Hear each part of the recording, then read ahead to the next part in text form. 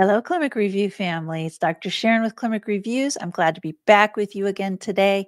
Today I'm talking about EEG, electroencephalogram, and this comes out of the blue book right there. So let's go ahead and get started.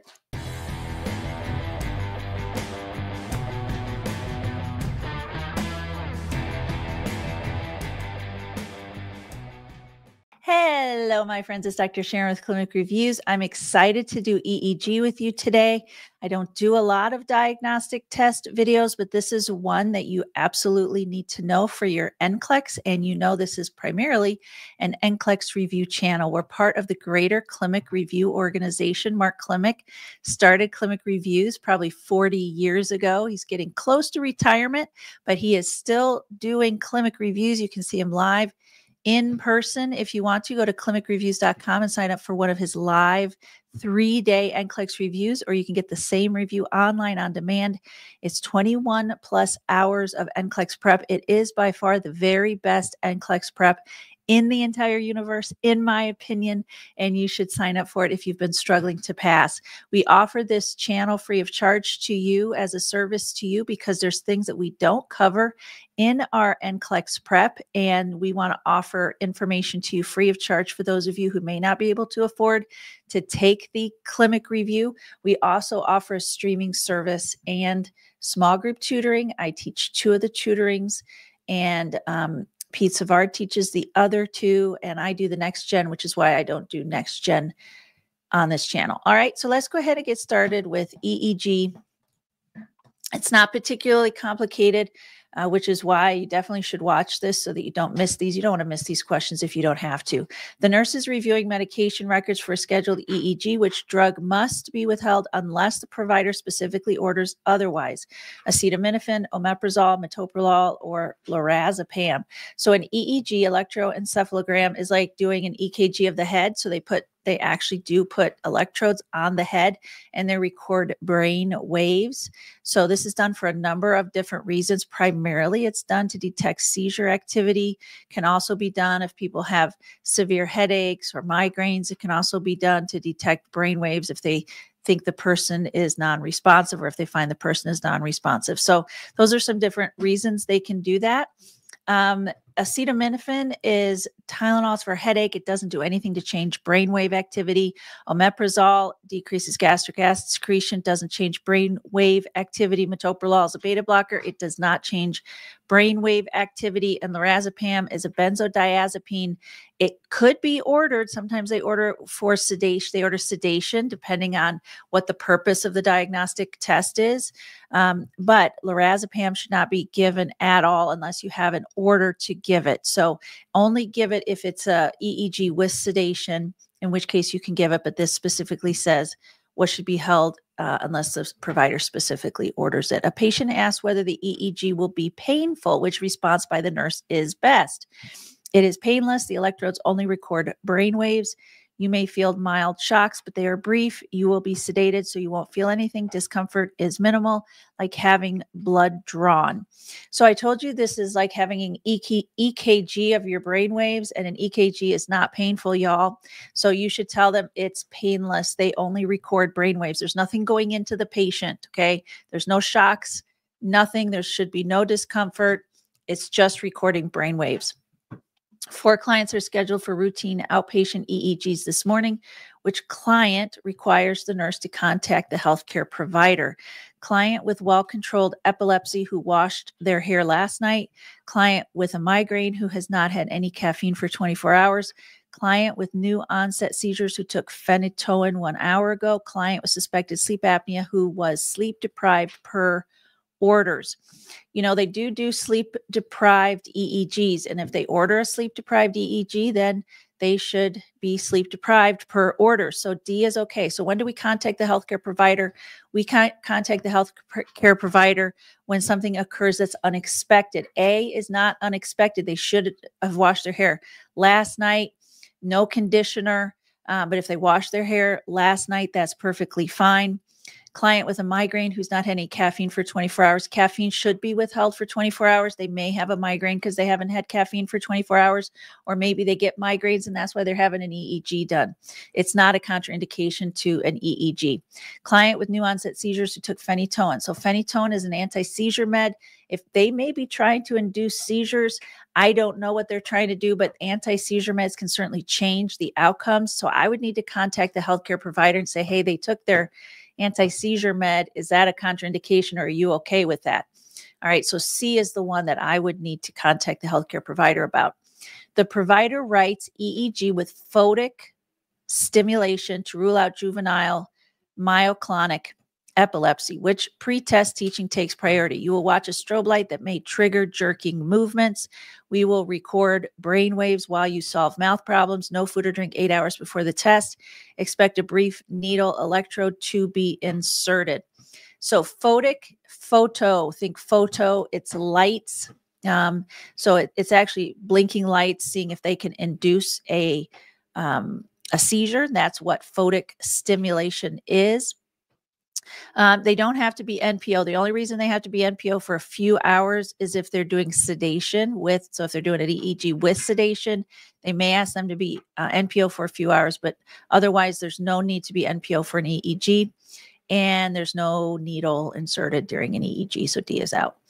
Provider orders an urgent bedside EEG for a patient who is not waking after a tonic clonic seizure, which nursing action takes priority. Remove excess hair oil from the scalp ensure suction equipment is functional, place the bed in high Fowler's position, turn off sedating IV infusions. Okay, so we have a patient who's not waking up. So, what do I want to do first? Remove excess hair oil from the scalp. Well, we have an emergency one, removing excess hair oil from the scalp. I mean, that's nice, but that doesn't seem like what I would do in an emergency situation. Ensure suction equipment is functional they're not waking up, I need to make sure their airway is clear. So I definitely want to do B. Place the bed in high Fowler's position, maybe. Maybe. I mean, they usually are sitting up for these. I'm not sure that that's my priority, though. Turn off sedating IV infusions. Um, I mean, gosh, if they've got, I guess I would need an order for that. Um, I don't know if they want them to have sedating IV infusions. So this is a prioritization. This is a best, what's best. And so what they're really testing here is do you understand what the fundamental principle is related to this situation? And I don't think the fundamental situation, the fundamental principle here is about oil or positioning, okay? Because this person's not waking up and it's an emergency EEG. So A and C don't seem like fundamental principles that I should be focusing on here. However, I'm worried about airway and I might be worried about sedating IV infusions. So here's the thing I know I have to worry about airway. I'm not sure about sedating IV infusions. Do you know what I the principle I want you to remember is pick the answer you're sure about, not the answer you're not sure about. I know I have to ensure airway is open for this patient. They just had a tonic clonic, they're not waking up. I have to make sure the airway is open but I'm not sure about the IV infusion. So pick this is remember this. Pick the answer you're sure about, not the answer you're not sure about. Y'all, that will get you a lot of right answers because it's not at all uncommon to get a question where you, oh, I know B is good, but man, C, maybe, maybe C is good. Don't pick C, pick B. You know, you know B is good. Pick B, don't pick C. A client scheduled for a sleep deprived EEG slept five hours last night and now feels exhausted. Okay, which nursing action is most appropriate? Allow for a 30 minute nap before the test. Give prescribed zolpidem to induce deeper sleep. Encourage the client to stay awake until after the EEG. Reschedule the test for another day. So the question is what's the purpose of a sleep deprived EEG? Is the purpose to let them sleep while we're doing the EEG? That doesn't make a lot of sense. Seems like they would want to see if sleep deprivation can induce a seizure. So if we want to see if sleep deprivation can induce a seizure, it doesn't make sense that I would let them take a nap or give them something to fall asleep. B doesn't make sense. And D doesn't make sense because it seems like they were tired because we want them to be. So we need to encourage the client to stay awake until after the EEG. That's what you do with a sleep deprived EEG. During electrode application, the patient becomes anxious about electric shocks. Which teaching strategy should the nurse use first? Describe each step while performing it, show a short video demonstrating the procedure, provide written materials for later reading, ask another nurse to continue the setup. All right, they're anxious about getting electric shocks. Well, we know they're not going to get electric shocks, okay, because that's not what an EEG is. So I don't see how D is going to help. And I don't see how C is going to help providing written materials for later reading. That doesn't make sense. Like they're anxious now. I need to address their anxiety now. So do I want to show a short video? Is it more effective to show a short video to relieve their anxiety or to describe each step while I'm performing it? So if I say, Okay, now I'm going to just put electrodes on. I'm just cleaning the scalp, just putting the electrode on. Now I'm hooking up the the wire. There's no shock that's going to come through here. It just seems like it would make more sense to describe each step while I'm performing it than to stop and show them a video. Like we want to address their anxiety immediately. And A is the most immediate addressing of the anxiety and their anxiety about something that's not going to happen. So it's not like we have to stop it and like teach them about it and then come back later. I mean, that doesn't make a lot of sense. Like I can just describe it while I'm putting the electrodes on.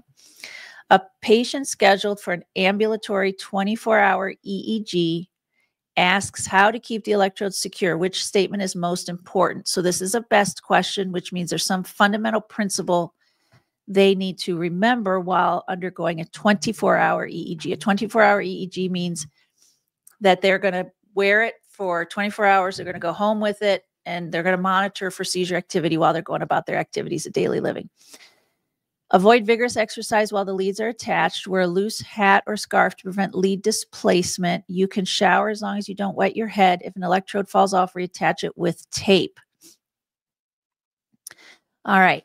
Well, I know C is not right. We're not going to have them shower while they're getting a 24 hour EEG. I know we want them to do ADLs, but it doesn't make sense that I'd want to tell them they can shower if the purpose is to keep the electrodes secure. So that's the thing is the purpose. We got to answer the questions being asked. How do you keep the electrodes secure? So, will reapplying it with tape, if it falls off, keep the electrodes secure? That seems like that doesn't make a lot of sense. That that seems more like what do you do if the electrode comes off? It's not answering how do you keep it secure. So I'm going to cross off C and D.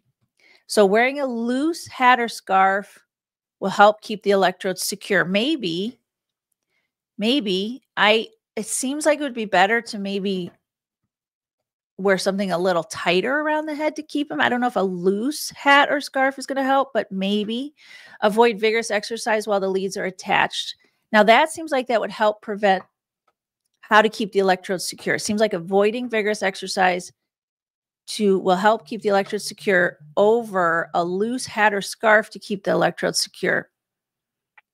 So I say, well, I'm not sure if B is right. It seems like a, a, a, a secure hat might be better, but I know avoiding vigorous exercise while the leads are attached will help keep the electrodes secure. So, what did I tell you about answering the question you know is right versus the answer you're not sure about? Pick the answer you know is right versus the answer you're not sure about. Y'all, I want you to get that in your head. You have to have that rule in your head. Otherwise, you're going to second guess yourself and pick the answer that isn't right just because you're like, well, maybe. Okay. If you're a person who second guesses yourself and tends to pick the wrong answer, say, Am I sure this is right? Which which one am I sure is right? Well, I know A is right. Well, then pick A, y'all. Okay. The nurse prepares to discharge a patient after an outpatient EEG with hyperventilation and photic stimulation, which post test instruction is highest priority. You may shampoo your hair to remove the gel Report any prolonged dizziness or headache. Resume your usual medications unless told otherwise. Do not drive until you feel fully, fully alert.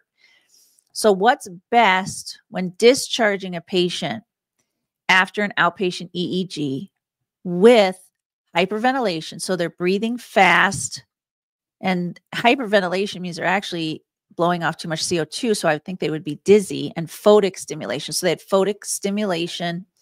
So, they could they could have a seizure. So, is it important when discharging a patient to say you may shampoo your hair to remove the gel. Well, you, they can sh- shampoo their hair to remove the gel, but I don't know that that's a priority here. Report any prolonged dizziness or headache.